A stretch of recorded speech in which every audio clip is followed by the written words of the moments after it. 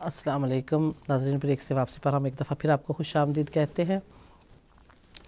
جیسا کہ ہم بات کر رہے تھے کہ ظلم کو سہنا۔ ناظرین، اسلام کی نگاہ میں بھی اور قرآن کی نگاہ میں بھی ضعیفی یعنی اپنے آپ کو کمزور بنا کر ظالم کے سامنے پیش کرنا اور ظالم کے ظلم کے سامنے سر جھکا دینا یقیناً ایک جرم ہے۔ اور وہ معاشرہ اس زمانے میں یہ جرم، اس جرم کا شکار ہو چکا تھا۔ ظالم اپنی مرضی سے ان سے جو چاہتے کرواتے، ظالم اپنی مرضی سے جس طرح کے احکام چاہتے ان پر عمل درآمد کرواتے اور لوگ ان کے سامنے سر نہ اٹھاتے۔ جیسا کہ کوفے کی مثال میں نے آپ کے سامنے پیش کی کہ ظالم کے ظلم کو اگر ابتدا سے ہی روک دیا جائے اور انسان اس کے مقابلے میں اٹھ کھڑا ہو، تو شاید کچھ کم قربانیوں کی ضرورت پڑتی ہے۔ لیکن اگر ظالم کو مضبوط کر دیا جائے اور اس کو مضبوط کرنے والا کون ہوتا ہے؟ وہ مظلوم بن کر جو اس کے سامنے سر جھکاتا ہے، وہ اس کو مضبوط کر دیتا ہے۔ اور جب وہ زیادہ مضبوط ہو جاتا ہے، تو پھر اس کو اگر ظلم سے روکا جائے، تو اس کے لیے بہت زیادہ قربانیوں کی ضرورت پڑتی ہے۔ اور یہ جیسے کہ کوفہ کی مثال کہ اگر اس دن وہ چند ہزار لوگ صرف کوفے میں سے ہمت کر لیتے اور عبید اللہ ابن زیاد کے دار العمارہ پر قبضہ کر کے اس کو نکال دیتے یا اس کو قتل کر دیتے، تو آج تحریک اسلام، تاریخ اسلام کا نقشہ کچھ اور ہوتا۔ آج شاید ہمارے معاشرے ابھی تک جو اذیتیں بنو امیہ اور بنو عباسیہ کی پھیلائی ہوئی، آج تک بھگت رہے ہیں۔ اسلام جو فرقوں میں بٹا ہوا ہے، شاید یہ سب کچھ نہ ہوتا۔ اور اسلام کا نقشہ کچھ اور ہوتا۔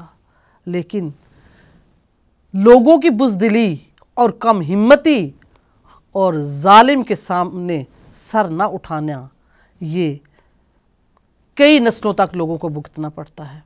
اور امام حسین علیہ السلام نے جس چیز کی تعلیم کربلا کے میدان میں پوری انسانیت کو دی، جو ایک قاعدہ اور کلیہ جو دنیا اور انسانیت کے سامنے پیش کیا کہ ایک ظالم کا مقابلہ کس طرح کرنا ہے؟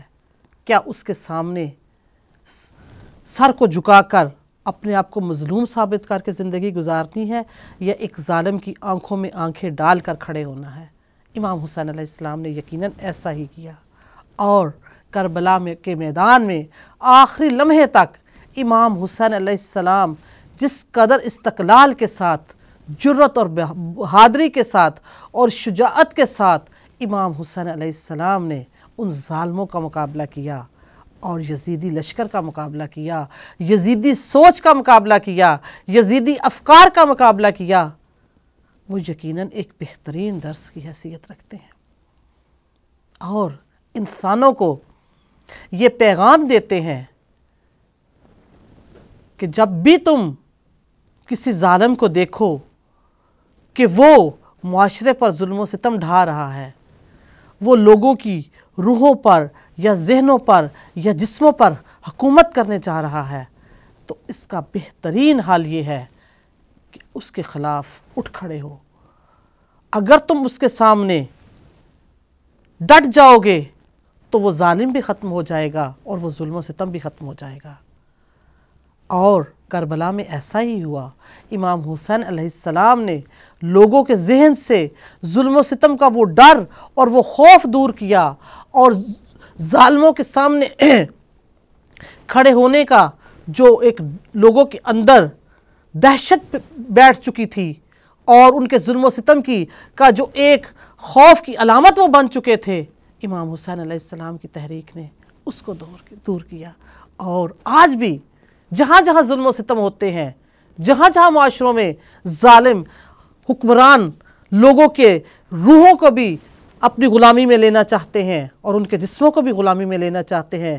اور صاحب اقتدار لوگ دیکھ لیں، جس کے پاس کوئی تھوڑا سا بھی اقتدار ہے، کبھی وڈیروں کی شکل میں، سرداروں کی شکل میں، یا اقتدار پرست لوگوں کی شکل میں، یا دولت کی کسی کے پاس دولت کے انبار ہے تو وہ دولت کی قوت و طاقت کی وجہ سے لوگوں کو غلام بنانا چاہتا ہے۔ تو امام حسین علیہ السلام کا یہ پیغام ہر وقت دنیا میں دنیا انسانیت میں گھونج رہا ہے کہ نہیں، تمہیں انسانوں کے سامنے اپنے آپ کو نہیں جھکانا۔ اسلام کا پیغام یہ کہہ رہا ہے کہ یہ سر صرف اور صرف رب حقیقی اور مالک حقیقی کے آگے اور معبود حقیقی کے آگے جھکنے کے قابل ہے، کسی انسان کے سامنے نہیں۔ تھوڑے لوگوں کے ساتھ، تھوڑی طاقت کے ساتھ، تھوڑی قوت کے ساتھ ایک بڑی طاقت کے ساتھ ٹکرانا، بڑی طاقت کا مقابلہ کرنا، یہ کربلا نے سکھایا ہے۔ اور پھر یہ سکھانے کے بعد یہ نوید بھی دی ہے اور یہ ثابت بھی کیا ہے کہ انشاءاللہ فتح تمہاری ہوگی۔ اس بات سے نہ ڈرنا کہ تم تھوڑے ہو یا تم اکیلے ہو۔ تم کیا کر سکو گے؟ اس ظالم کو ختم نہیں کر سکو گے یا اس کے ظلم کا راستہ پوری طرح نہیں روک سکو گے۔ یہ ڈر اپنے ذہن سے نکال دو۔ کربلا نے یہ ثابت کر دیا ہے کہ اقلیت اکثریت پر کس طرح قابل اس پر برتری حاصل کر سکتی ہے؟ ایک مظلوم تھوڑی طاقت کے ساتھ، تھوڑی قوت کے ساتھ ایک بڑے ظالم پر کس طرح، کس قدر غالب کس طرح غالب آ سکتا ہے؟ کربلا نے یہ سبق دیے ہیں ناظرین، آج ہم اپنے معاشروں میں یہ چیز دیکھتے ہیں۔ اور کربلا سے دوری کا انجام بھی دیکھتے ہیں کہ جس جس معاشرے نے کربلا سے سبق سیکھا ہے۔ کربلا کے صحیح پیغام کو وصول کیا ہے اور اسے اپنے اوپر لاگو کیا ہے۔ وہ معاشرے اور ان معاشروں میں جو کربلا کے سبق کو بھول چکے ہیں، جو کربلا کو نظر انداز کرتے ہیں، ان معاشروں میں زمین و آسمان کا فرق ہے۔ ہم ایران کی مثال لیتے ہیں۔ شہنشاہ ایران کا ایران بظاہر دنیا کی نظروں میں دنیا کی تاریخ میں ایک ترقی یافتہ ملک جو شہنشاہ ایران کی سرکردگی میں بہت ساری ترقی کر رہا تھا اور ایک متمول معاشرہ تھا۔ کوئی زیادہ مسائل دنیاوی اور مادی لحاظ سے اس معاشرے میں نہیں تھے اور بظاہر وہ ترقی کی طرف جا رہے تھے۔ ترقی کیا تھی کہ وہ دین اسلام سے دور جا رہے تھے۔ شہنشاہ ایران نے اپنے ظالمانہ احکام کے ذریعے لوگوں سے ان کا تشخص چھین لیا تھا، ان کا اسلامی تشخص ان سے چھین لیا تھا اور ان کا دین سے محبت کو ان کو دلوں سے نکالنا چاہا تھا، وہ ان کی روحوں پر حکومت کرنا چاہتا تھا۔ اور روح پر حکومت اس وقت ہوتی ہے جب انسان بالکل ذہنی طور پر غلام ہو چکا ہو۔ اور ذہن کے بعد پھر وہ اپنی روح کو بھی اس ظالم کو پیش کر دیتا ہے کہ آؤ، اب میری روح پر بھی حکومت کرو۔ میری روح بھی وہی کچھ چاہے گی جو اب تم چاہو گے۔ میرا اپنا اب کچھ بھی نہیں ہے۔ تو وہ معاشرہ اس میں بھی بظاہر مادی طور پر ترقی ہو رہی تھی، لیکن روحانی طور پر، دینی طور پر اور ذہنی طور پر اس معاشرے کا کیا حالت تھی؟ ہمارے ساتھ ایک کالر ہیں۔ ہم ان کو اپنے ساتھ شامل کرتے ہیں۔ جی السلام علیکم۔ ہلو۔ جی السلام علیکم۔ جی وعلیکم السلام۔ جی کون سسٹر؟ کہاں سے؟ جی میں جیسے لندن سے بول رہی ہوں صبح۔ جی جی۔ اچھا مجھے یہ پوچھنا تھا کہ میں نے رات کو خواب میں زلجنا دیکھا ہے بڑا خوبصورت سجا ہوتا ہے۔ اور جیسے میں لیٹی ہوتی ہوں اور میں اللہ سے دعا کرتی ہوں کہ اللہ میاں میری ساری مشکلیں آسان کر دیں اور میرے ہاتھ میں فلاور ہوتا ہے گلاب کا نا جیسے زلجنا سے میں نے گلاب کا فلاور لیا ہے۔ جی میری بہن بظاہر تو ٹھیک اچھا خواب ہے۔ آپ نے اچھی چیزیں دیکھی ہیں، گلاب پھول بھی اچھا ہے اور زلجنا کی زیارت بھی کی ہے۔ لیکن پھر بھی آپ اس خواب کو اپنے کسی عالم دین کے پروگرام میں شامل کریں، یقیناً وہ بہتر آپ کو جواب دے سکیں گے۔ بہت شکریہ۔ تو ناظرین، اسلامی معاشرے، اس وقت کے آج کے معاشروں میں ہم ایران کے معاشرے کی مثال آپ کے سامنے پیش کر رہے تھے۔ کہ اس معاشرے میں دین کو نکالا جا رہا تھا۔ اور وہ مادی طور پر ترقی یافتہ جو معاشرہ تھا، بظاہر ترقی یافتہ معاشرہ تھا، اس پر ظلم و ستم اس حد تک تھا کہ خواتین اپنی مرضی سے حجاب اختیار نہیں کر سکتی تھی اپنے دین پر عمل نہیں کر سکتی تھی جبری طور پر زبردستی ایک اسلامک معاشرے میں ایک مسلمان حکمران کی فوج اور اس کے اس کی پولیس خواتین سے جبری طور پر حجاب ان کے سروں سے اترواتی تھی اور لوگوں کو دین پر عمل کرنے سے روکا جاتا تھا۔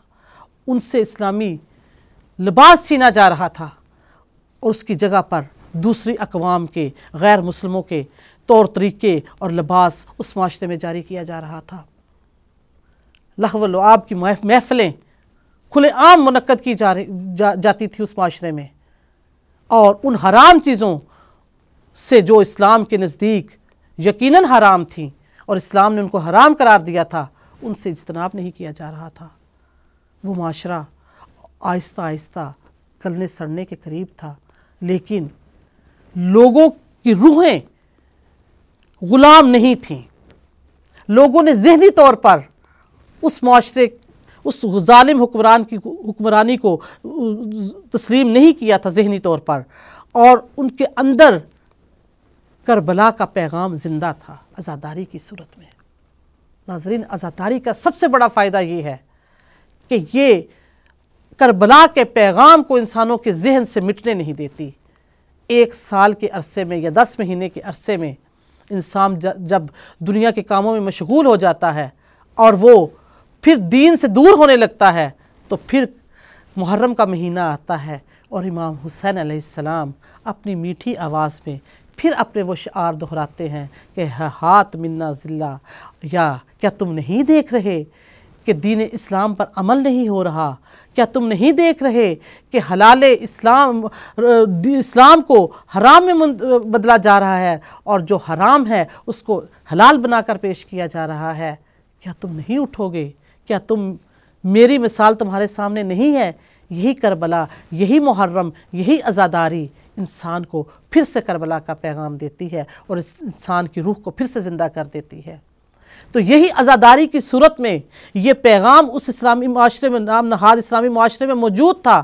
تو لوگوں نے اس کی کچھ عرصہ تو اس کا ظلم و ستم سہا، لیکن پھر اگر جب ان کو ایک ایسے حسینی کی قیادت نصیب ہو گئی جس نے زندگی کا ایک ایک لمحہ اور ایک ایک سانس کربلا کی تعلیمات کی صورت میں گزارا تھا۔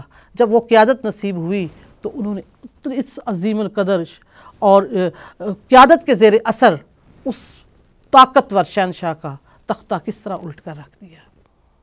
وہ اس ظالم کے سامنے کہ جس کے پاس ایک ظالم فوج موجود تھی، اس کے پاس ظالمانہ پولیس موجود تھی اور جس کے جرائم اور جن کے مظالم سے کتابیں بھری پڑی ہیں۔ اگر تاریخ ایران کا مطالعہ، اس دور کی تاریخ کا مطالعہ کیا جائے، تو آپ کو پتہ چلے گا کہ اس پولیس نے کس قدر ظلم و ستم اپنے لوگوں پر ڈھایا۔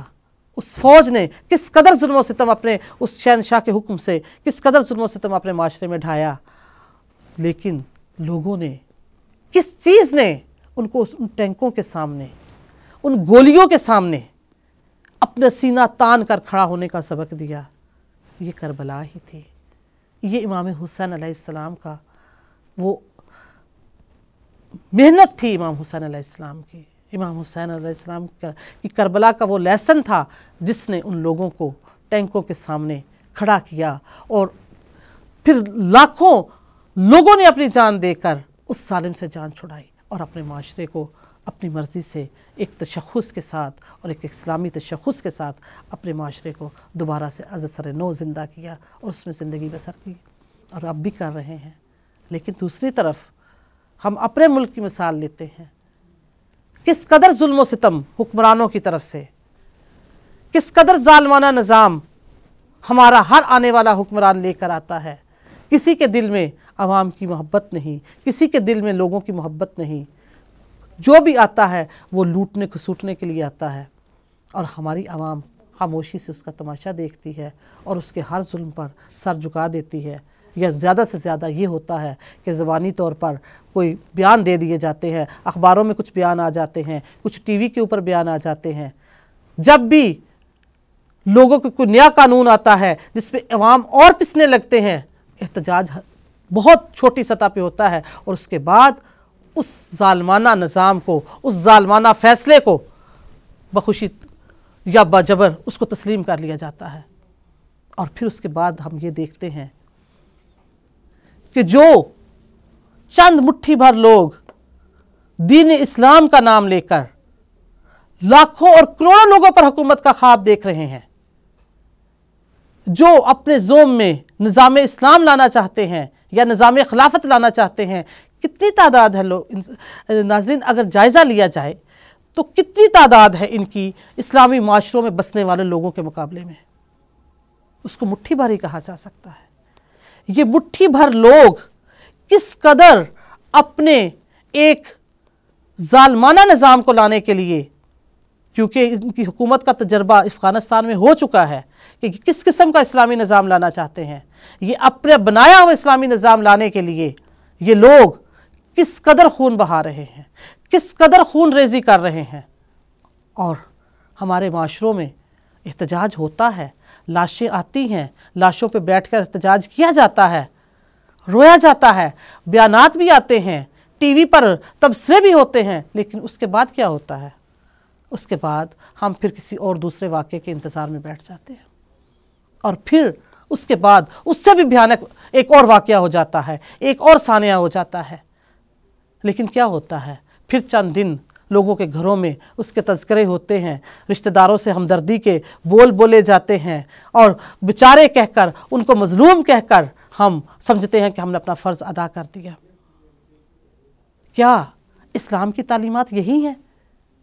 کیا امام حسین علیہ السلام نے جو سبق ہمیں دیا کربلا میں، وہ کیا صرف شیعوں کے لیے تھا یا صرف اس زمانے کے، اس معاشرے کے لوگوں کے لیے تھا کہ یہ پوری مسلمانوں کے لیے نہیں تھا، یا پوری انسانیت کے لیے نہیں تھا کہ جب تک تم ظالم کی آنکھوں میں آنکھیں ڈال کر کھڑے نہیں ہوگے، جب تک تم اپنے اندر وہ جرت پیدا نہیں کرو گے اپنے اندر وہ ہمت پیدا نہیں کرو گے کہ ظالم کا ہاتھ پکڑ سکو یا اس کے ہاتھ سے ہتھیار چھین سکو، تب تک تم اسی طرح ظلم و ستم کا شکار ہوتے رہو گے۔ اور یہ نہ سمجھنا کہ ظلم و ستم کا شکار ہو کر، مظلوم بن کر تم لوگوں کی یہاں ہمدردیاں تو حاصل کر رہے ہو۔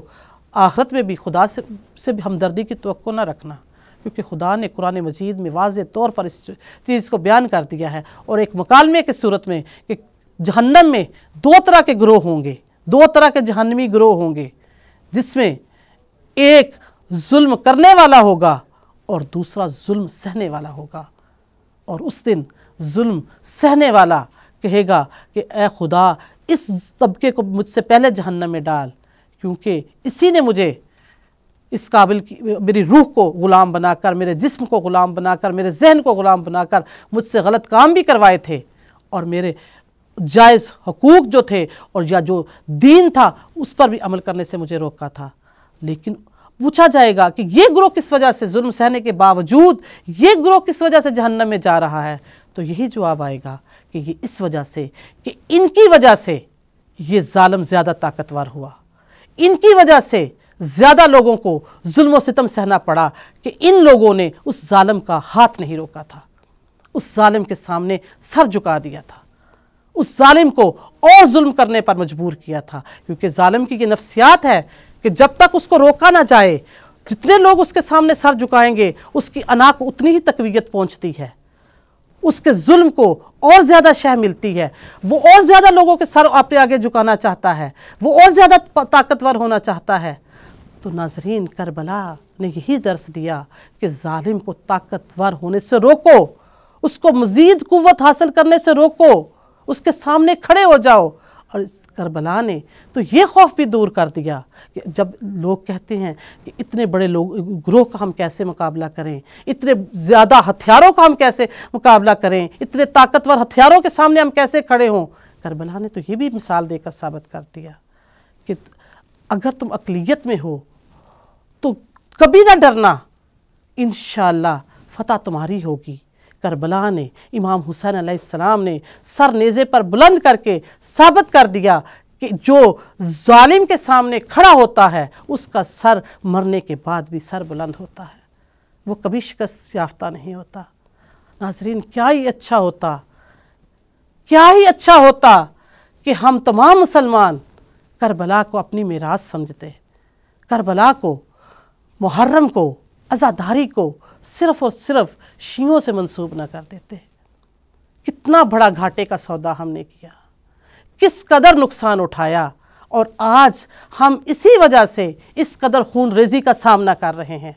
اگر کربلا ہر مسلمان کی میراث ہوتی، اگر کربلا ہر فرقے کی میراث ہوتی، اگر کربلا ہر مسلمان کے لیے ایک درسگاہ ہوتی، ہر مسلمان کربلا کو اپنی درسگاہ بناتا تو آج ہر اسلامی معاشرہ یقیناً اس صورتحال کا سامنا نہ کرتا جس کا وہ آج کر رہا ہے۔ آج یہ مٹھی بھر لوگ ہر اسلامی معاشرے میں دندناتے پھر نہ پھر رہے ہوتے اور اپنی مرضی کی خون ریزی نہ کر رہے ہوتے۔ حکومت ہونے کے باوجود، طاقت ہونے کے باوجود یہ ہمارے ملکوں میں گھس کر، ہمارے معاشروں میں گھس کر ہمیں پر ظلم و ستم کر رہے ہیں اور ہم بے بسی سے صرف بیان دے رہے ہیں، مذمتی بیان دے رہے ہیں۔ ہم صرف بیٹھ کر فیس بک پر یا دوسرے سوشل میڈیاز پر صرف لواحقین کے ساتھ چند جملے لکھ کر، چند اشعار لکھ کر، ان سے اظہار ہمدردی کر کے ہم یہ سمجھ رہے ہیں کہ ہم نے حق ادا کر دیا۔ اگر ان واقعات پر پہلے سے ہم نوٹس لیتے، ہم کربلا کے پیغام کو اپنے اوپر لاگو کرتے، تو آج کیا یہ ظالم زندہ ہوتے؟ یا یہ ظالم اس قدر طاقتور ہوتے کہ یہ آئیں اور جہاں جی چاہیں خون ریزی کر کے چلے جائیں۔ ابھی جو لیٹسٹ جو حادثہ ہوا ہے، سب لوگوں کے دل اس سے دکھی ہوئے ہیں۔ سب لوگ افسردہ ہیں، سب لوگ رو رہے ہیں۔ لیکن ہمیں اپنے ضمیروں سے پوچھنا چاہیے کہ یہ پہلا واقعہ ہے۔ کہ اس سے پہلے آپ نے سو سو جنازے نہیں دیکھے، ان لواحقین کو نہیں دیکھا جو شدید ترین سردی میں اپنے لواحقین کے زخمی لاشوں کو لے کر ان کے خون، آلود کفون، کفن میں ملبوس لاشوں کو لے کر جو تین تین دن تک بیٹھے رہے، کیا انسانی ضمیر کو جھنجھوڑنے کے لیے وہ مناظر کافی نہیں تھے؟ کیا ہوا؟ اس وقت بھی کچھ ضمیر جاگے تھوڑی دیر کے لیے، کچھ تھوڑا سا اظہار ہمدردی ہوا، کچھ بیانات ہوئے، اس کے بعد پھر کیا؟ پھر یہ کہ ہم پھر کسی اور واقعے کے لیے انتظار میں بیٹھ گئے اور پھر وہ واقعہ ہو گیا۔ ناظرین، جب تک کربلا ہماری روحوں پر حکومت نہیں کرے گی، جب تک کربلا ہماری درسگاہ نہیں بنے گی، اس طرح کے یزیدی فرعون صفت لوگ ہم پر ہمیشہ غالب آتے رہیں گے۔ کربلا نے آپ کو ایک کلیہ دے دیا۔ کربلا نے ایسے حالات میں آپ آپ کو ایک ایسا نسخہ دے دیا جس میں فتح ہی فتح ہے، جس میں انسان کو شکست کا سامنا کرنا ہی نہیں پڑتا اور جس میں نہ زیادہ ہتھیاروں کی ضرورت پڑتی ہے، نہ زیادہ لوگوں کی ضرورت پڑتی ہے، نہ فوجوں کی ضرورت پڑتی ہے، صرف اور صرف آپ کو اپنے روحانی طور پر صرف جاگنا ہوتا ہے، صرف اور صرف اپنے اندر غیرت اور حمیت کا جو سبق بھول چکے ہیں ہم، اس کو جگانا ہوتا ہے۔ صرف اور صرف اسلام کے اس پیغام کو، جس کو امام حسین علیہ السلام نے کربلا کے میدان میں زندہ کیا کہ ظالم کے سامنے ڈٹ کر کھڑا ہونا ہے، اس کی آنکھوں میں آنکھیں ڈالنا ہے۔ اور آخری لمحے تک جب آپ کا آخری سرمایہ بھی اگر ہاتھ سے جاتا ہے تو جائے ظالم کے سامنے سر نہیں جھکانا۔ ناظرین، کیا چند قربانیوں کے ڈر سے ہم کہ اگر ہم ان کے سامنے آئیں گے تو یہ ہمیں قتل کر دیں گے۔ اس ڈر سے کیا ہم خاموش بیٹھ کر اپنے اوپر ظلم و ستم سہتے رہیں گے؟ کب تک ہم لاشیں وصول کرتے رہیں گے؟ کیا ایک جج صرف اس وجہ سے ایک درندے کو آزاد چھوڑ دیتا ہے کہ اس کو دھمکی دی جاتی ہے کہ تمہارے بچوں کو اغوا کر لیا جائے گا یا تمہارے گھر کو تباہ و برباد کر دیا جائے گا؟ وہ اپنے چند بچوں کو بچانے کے لیے قوم کے ہزاروں بچوں کو خون میں نہلا دیتا ہے۔ جب تک ایک ایک ذمہ دار شخص اپنے اندر سے موت کا خوف نہیں نکالے گا۔ جب تک ایک ایک ذمہ دار شخص اپنے بچوں کی محبت، اپنے مال کی محبت، اپنی جان کی محبت، اپنے خاندان کی محبت کو، قوم کی محبت پر قربان نہیں کرے گا، یہ درندے اسی طرح دندناتے رہیں گے۔ یہ اسی طرح خون بہاتے رہیں گے۔ یہ اسی طرح آپ کو دھمکیاں دے کر آپ کو اپنی ذمہ داریاں پوری کرنے سے روکتے رہیں گے۔ اور پھر یہ زندگی چند روزہ ہے۔ اس زندگی کو تو ختم ہونا ہی ہونا ہے۔ چاہے وہ آپ طبعی عمر پوری کر کے کر لیں، پھر بھی آپ کو خدا کی بارگاہ میں جانا ہے۔ یا آپ کسی درندے کے ہاتھوں قتل ہو کر اللہ کی بارگاہ میں پہنچے، پھر بھی آپ نے جانا ہے۔ یا شہادت جیسا عظیم رتبہ اپنی مرضی سے اختیار کر کے۔ ہم شہید کہتے ہیں، یقیناً یہ بھی شہید ہیں، لیکن اصل شہید وہ ہے جو اس جب ان درندوں کے سامنے سینہ تان کر اور آنکھیں، ان کی آنکھوں میں آنکھیں ڈال کر کھڑا ہوگا اور پھر ان کے ہاتھوں سے مرے گا۔ اصل شہید وہ ہے۔ اپنی مرضی کی موت۔ امام حسین علیہ السلام نے یہی درس دیا، مرنا تو ہے، لیکن موت کا انتخاب اپنی مرضی کا کرو۔ کربلا کا یہ بہترین درس کہ عزت سے مرنا چاہتے ہو یا ایک مظلوم کی جس کو خدا بھی آخرت میں پوچھے گا کہ تم ظالم کے سامنے کھڑے کیوں نہیں ہوئے تھے، اس موت کو اختیار کرنا چاہتے ہو۔ عزت کی موت یقیناً سب سے بہتر ہے۔ اور امام حسین علیہ السلام کی کربلا نے ہمیں یہی درس دیا ہے کہ ظالم کے ظلم کے سامنے کھڑے ہونا اور عزت کے ساتھ زندگی بھی گزارنا اور عزت کے ساتھ موت کو بھی گلے لگانا۔ اور جب تک کربلا کے یہ درس ہمارے اسلامی معاشروں میں دہرائے نہیں جائیں گے، تب تک ناظرین، ہمیں اپنے اوپر اپنے اوپر ہمیں ترسی کھانا ہمیشہ ہم کھاتے رہیں گے اور صرف اور صرف تعزیت کے چند بول بول کر اگلی لاشوں کے انتظار میں ہم لوگ بیٹھے رہیں گے اور یہ درندے ہمیں لاشوں کے تحفے پیش کرتے رہیں گے۔ اس حل صرف اور صرف اس کا اس معاملے کا صرف اور صرف حل کربلا اور یقیناً کربلا ہے۔ اور یقیناً ہماری درسگاہ کربلا ہے۔ اور کربلا کا راستہ ہی نجات کا راستہ ہے۔ امام حسین علیہ السلام کا راستہ ہی نجات کا راستہ ہے۔ ناظرین، ہمارے پروگرام کا وقت ختم ہوا جاتا ہے۔ اگلے پروگرام تک کے لیے اجازت دیجیے اللہ حافظ۔